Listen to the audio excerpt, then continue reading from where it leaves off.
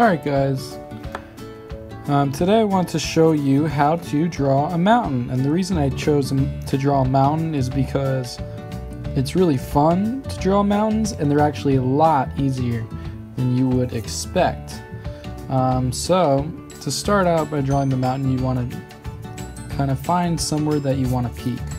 Um, so usually I like to choose you know, somewhere around this area on the paper.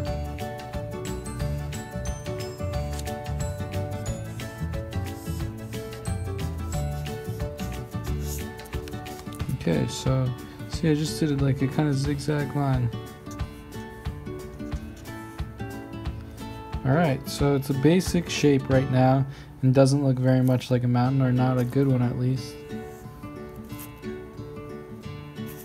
Um, but this is where the fun begins. So I'm gonna come and kind of split this mountain.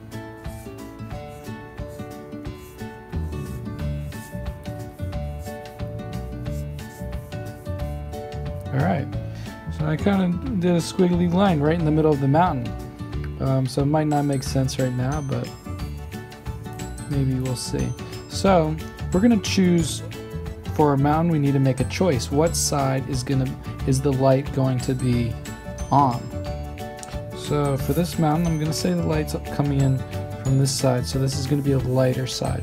So here's the you know the dark side of this mountain. Again,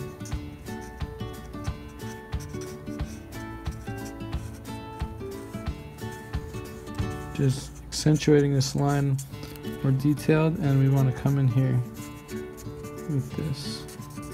Just kind of move your pen around a lot okay? There's nothing wrong with that. Okay you want to make kind of these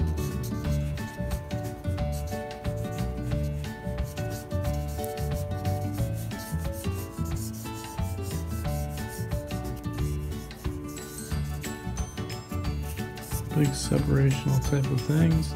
So you're just kind of building shape on this mountain. Just shaping it out. And all this is doing is really just putting in grooves, creases, some hills, some some rocks, and it's, it's very it's a very abstract technique. But you'll see further down the road for this mountain.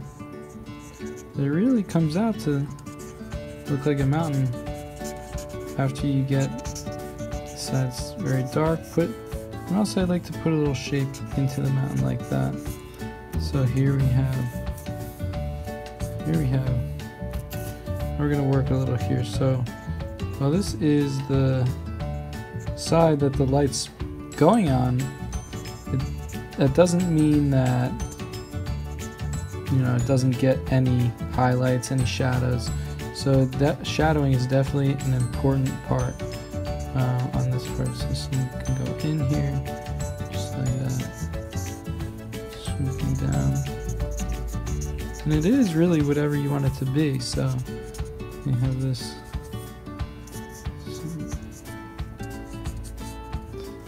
Some yeah sometimes these V shapes work well. Just putting that just these shapes. Abstractly abstract techniques just kind of squiggling it around and you'll see how cool it comes out actually. Okay so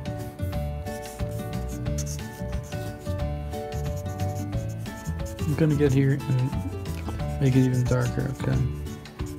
Realize that I could you know push your boundaries and they are yours it's a famous quote from my high school art teacher, so I'm going to push my boundaries here. Again, I'm just using a marker, these squiggly abstract techniques in the hopes that it turns out to resemble what looks like a mountain. So it is about putting in those shadows, you know, not being afraid to make something too dark or You know, this is all about imperfection because you can see the lines. None of these lines are really planned, but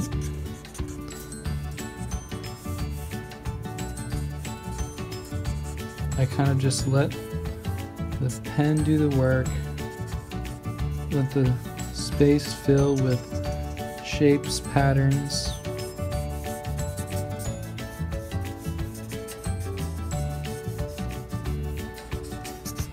And it's really fun putting all this, these little um, shapes and really not knowing how the space is going to get filled. And then once you start to see it, you know, it's pretty rewarding to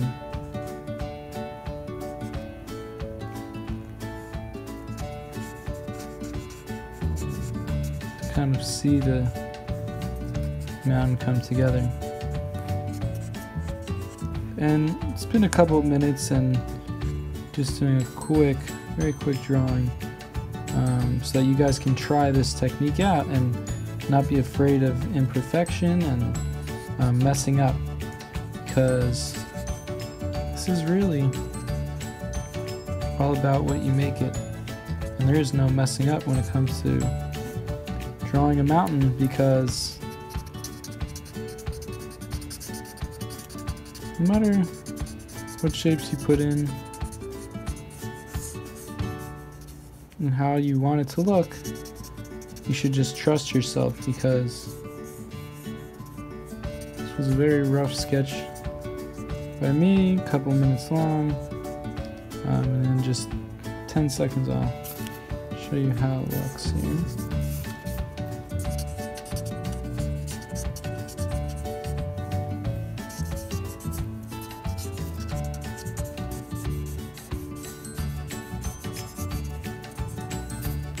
Okay, so is what I have in those couple minutes. That's my mountain. Uh, it was, again, it was really fun to draw. Um, I just used abstract techniques like this, just filling in little spaces, um, swooping shapes, you know, filling in shadows, and not being afraid to push the boundaries. Um, let that you know, be, let the colors be dark, bold, and at the same time let your hand be free to move wherever it wants to go. And these mountains will kind of build themselves. I hope you enjoyed this video and I hope you really give this a shot. Um, it's really fun to draw mountains. Hopefully this technique um, encourages you to go out and try because it really is not as hard as it looks. So good luck drawing a mountain. I know it's going to turn out great, and thanks for watching.